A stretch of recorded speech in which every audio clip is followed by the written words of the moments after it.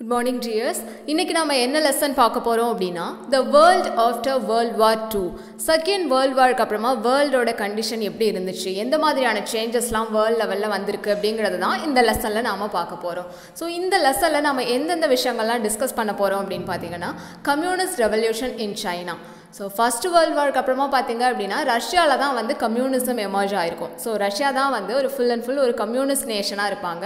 So second world வார்க்கு அப்புறமா பார்த்தீங்கன்னா சைனாலையும் ஒரு கம்யூனிஸ்ட் ரெவல்யூஷன் ஸ்டார்ட் ஆயிருக்கு. ஸோ அதை பற்றி பார்க்க போகிறோம் then cold war and Korean wars பற்றி டிஸ்கஸ் பண்ண போகிறோம் அதுக்கப்புறமா ஆரப் அண்ட் இஸ்ரேல் இவங்களுக்கு இடையில நடந்த ப்ராப்ளம்ஸ் பற்றி பார்க்க போகிறோம் then European economic community and European union so யூரோப்பில் ஒரு யூனியன் ஒன்று கிரியேட் ஆயிருக்கு. ஸோ அதுக்கு ரீசன்ஸ் என்ன?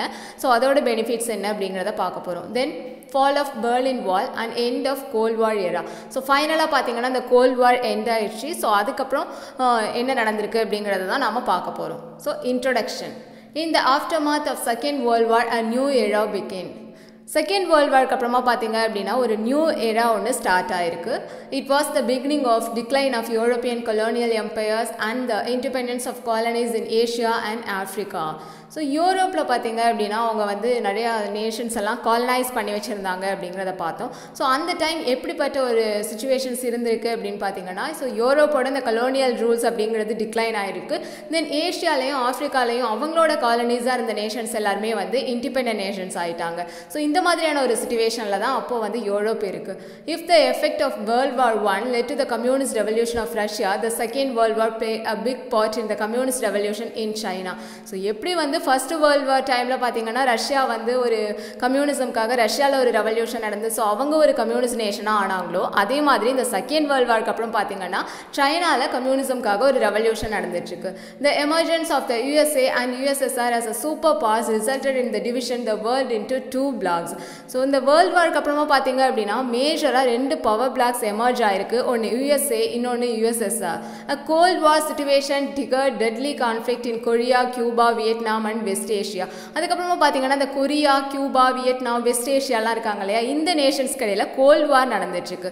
Under the Marshall plan for reconstruction of the war ravaged Europe the US own the trust of the great boss in Europe so Europe என்ன பண்ணுறாங்க அப்படின்னா ஒரு மார்ஷல் பிளான் அப்படின்னு ஒரு பிளான் வந்து இன்ட்ரடியூஸ் பண்ணுறாங்க ஸோ அதை யூஸ் பண்ணி யூஎஸ் என்ன பண்ணிட்டாங்க அப்படின்னா யூரோப்போட பாஸ் அதாவது யூஎஸ் யூரோப்போட ட்ரஸ்ட்டை வந்து வின் பண்ணியிருக்காங்க அப்படின்னு சொல்கிறாங்க Soviet Russia by demonstrating solidarity with the liberation struggle of countries in Asia and Africa earn the goodwill of the latter இப்போ ரஷ்யா என்ன பண்ணுறாங்க அப்படின்னா ஏஷியாலையும் ஆஃப்ரிக்காலையும் நடந்த லிபரேஷன் ஸ்ட்ரகல் இருக்கு இல்லையா? ஸோ அதில் அவங்களுக்கு ஹெல்ப் பண்ணி அவங்களுக்கு சப்போர்ட்டிவாக இருக்காங்க. இந்த non align movement play a limited role in containing the conflict between the two power blocs ஏற்கனவே வந்து யூஎஸ்ஏ வந்து யூஎஸ்ஏ யூஎஸ்எஸ்ஆர் அப்படின்னு வந்து ரெண்டு பவர் பிளாக்ஸ் இருக்குது அப்படின்னு நம்ம பார்த்தோம் இல்லையா? ஸோ அவங்களுக்கு இடையில இருக்க அந்த கான்ஃப்ளிக்ட்டை வந்து மெயின்டைன் பண்ணுறதுக்காக அந்த நான் அலைன் ஃபோர்ஸ் இவங்க இருக்காங்க. In a bid to wriggle out the US controlled the European countries started the European movement in the form of Council of Europe. US control பண்ணுறதுக்காக யூரோப் என்ன பண்ணிட்டாங்க அப்படின்னா ஒரு மூவ்மெண்ட் ஸ்டார்ட் பண்ணி அது மூலமாக வந்து யூரோப் கவுன்சில் ஒன்று அரேஞ்ச் பண்ணியிருக்காங்க this develop into the European common market and finally into what's today the European union so இதை கொஞ்சம் கொஞ்சமாக டெவலப் பண்ணி இப்போ இருக்க யூரோப்பியன் யூனியன் இருக்கு இல்லையா? அது வந்து ஃபார்ம் ஆயிருக்கு. இந்த cold war period ended with the fall of Berlin war so ஃபைனலாக அந்த கோல்ட் வார் பீரியட் எப்போ முடிஞ்சுது அப்படின்னு பார்த்தீங்கன்னா பேர்லின் வாலை வந்து இடித்ததுக்கு அப்புறமா தான் இந்த ப்ராப்ளம் எல்லாமே வந்து சால்வ் ஆயிருக்கு. ஸோ இதுக்கிடையில் வேர்ல்டில் நடந்த இம்பார்ட்டன்ட் இஷ்யூஸ் என்னென்ன அப்படிங்கிறத பார்ட் பார்ட்டாக நாம் வந்து டிஸ்கஸ் பண்ணலாம். ஸோ இன்றைக்கி ஜஸ்ட் ஒரு இன்ட்ரடக்ஷனோட இருக்கட்டும்.